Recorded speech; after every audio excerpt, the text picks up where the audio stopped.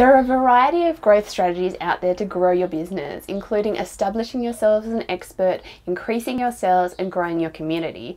And there's a lot of different media you can use to do that. You can use video just like this, you can use audio, things like podcasts.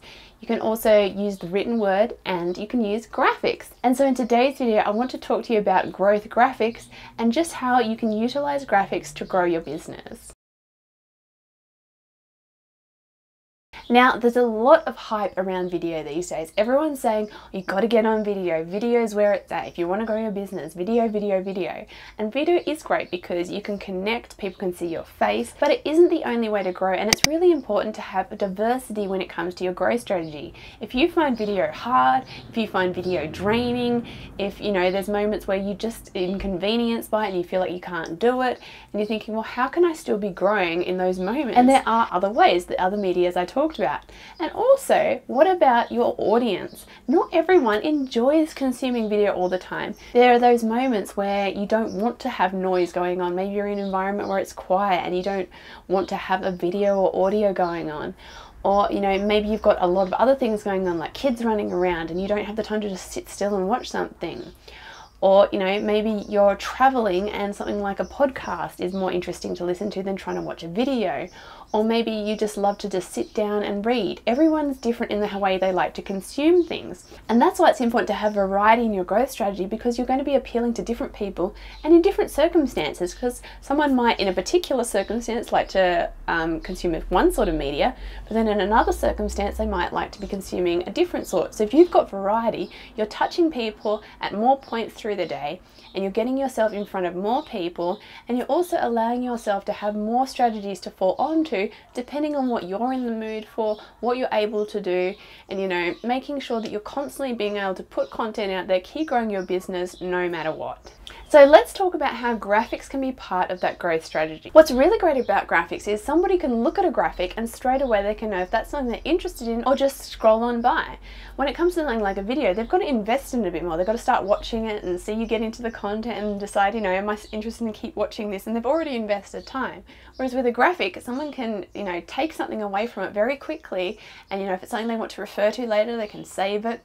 It's something that's very quick and you're not, you know, holding people ransom so they have to figure out is this something I'm interested in or not, they can very quickly look at it and take away what they need to take away from it. It's also silent, so they're in those moments where they don't want noise and it's not convenient for them to listen to something with a lot of audio, then a graphic is really great way for them to consume your content. It's also really great for visual learners. So if you're trying to explain something that's quite complicated, where, you know, talking it out or writing it out is going to still go over someone's head and they're going to be like, I'm still not quite sure what you mean by that visuals, things like infographics, or just writing it out in a way that starts to show it in a more visual way can actually help it really click with someone. They can suddenly go, oh, I get that now. That actually makes sense. You've actually, you know, presented it in a way that's helped me to understand that. So graphics can be very powerful when it comes to trying to help people understand a complex idea. And even non-complex ideas, sometimes things just make more sense visually than trying to talk you through it. Obviously, you could maybe visually show that in a video,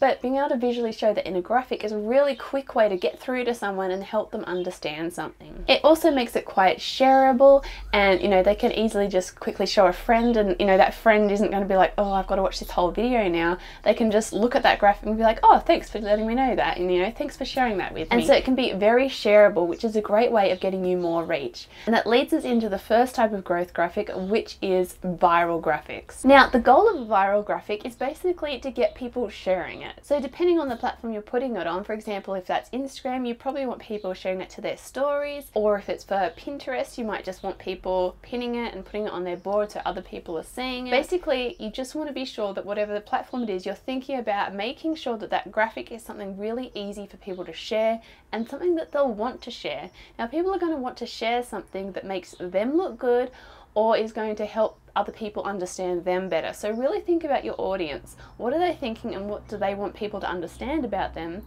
Or what will make them look good? Maybe it's something funny so they'll give their audience a bit of a laugh.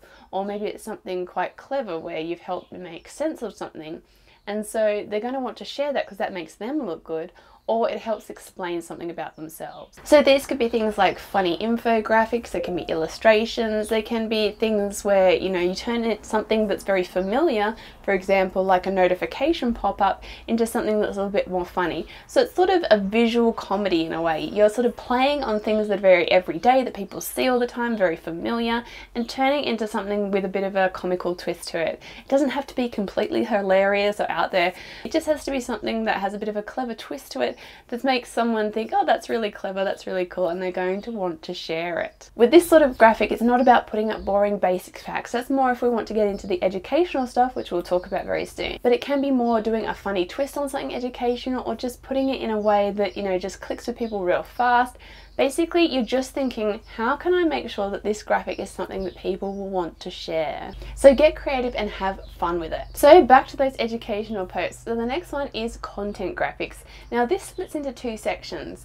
Content graphics can either be graphics that lead to content, so some sort of promotional graphic saying, you know, go check out my blog or go check out my podcast or my YouTube video, some sort of graphic that's going to lead people from where they are to your main content, that long form content content. So you're going to want to give them some incentive, maybe, you know, show them a little bit of that content, talk about it a bit, tell them why they should invest the time in looking at that content. Because as I said, those long form content, that watching a video or you know reading something really long people don't want to spend all this time and then realize this isn't actually for me. So that graphic has got to be that thing that draws someone and go yes that is something i'm interested in. That is something for me. So i'm going to go check that out. And then there's the graphics that are content. So these are your educational graphics. These could be a carousel post where you break that information up into lots of different graphics or it could just be one graphic really makes one concept really easy to understand. You could use something like infographics or lists or some sort of illustration something that graphically helps teach something, teach a concept. And for this, you could very easily repurpose some of your long form content. Maybe just take part of that out and turn it into an educational graphic. And it's a way of teaching people in these little bite sized bits where they're not investing too much time into it, but you're showing your expertise and helping people learn something and giving them a little bit of a win. Maybe, you know, you teach something where they can then take action on that and you know it can really help them and it make a difference for them. And it isn't just for if you have a business where you're teaching people things.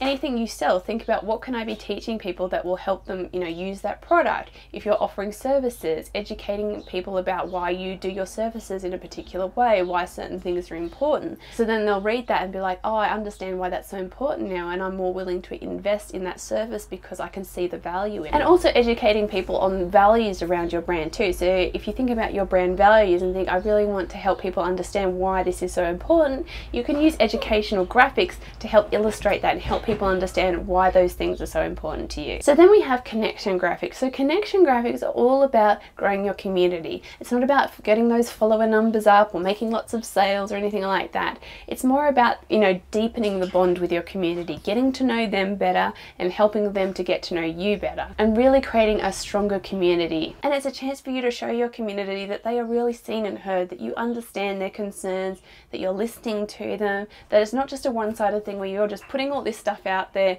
and you know hoping that they'll buy from you and follow you and all those things, but you're really listening to them, really taking on their feedback and it's a two-way thing where you're having a conversation with them. So these kind of graphics can be interactive things like games or puzzles or it could be you putting out a question and then asking them in the comments to respond anything where you're getting that sort of feedback from them, where you're saying, I'd like to know this from you, or I'd like to get your feedback on that, or interact with me in this way. So it's all about creating a graphic where people are going to interact. And then finally, we have sales graphics. So these graphics are all about the end goal of selling. So it could be that you're actually promoting directly and saying, you know, there's this thing I've got to offer, would you like to buy it basically?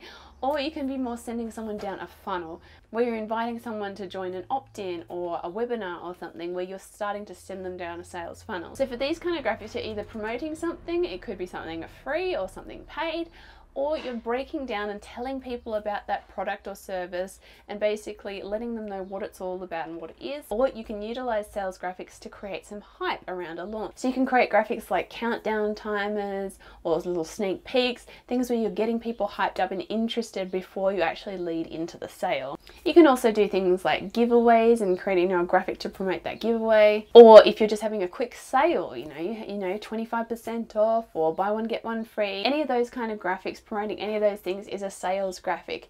It's basically just all about trying to lead to the sale. What's great about sales graphics is they create excitement and anticipation and it also helps people see things more visually so it makes it more tangible and this can be particularly important when you've got a digital product or you're selling something online where someone can't go in a store and physically touch it. So you're able to really help someone see, visualize it, make it tangible by creating these sales graphics. So as you can see, graphics can be a really great tool for growing your business. There's something where you can just create it from the comfort of your home, hidden away on a dark rainy day in front of the computer. You don't have to have perfect lighting, your makeup all done, you don't have to be looking all nice and perfect.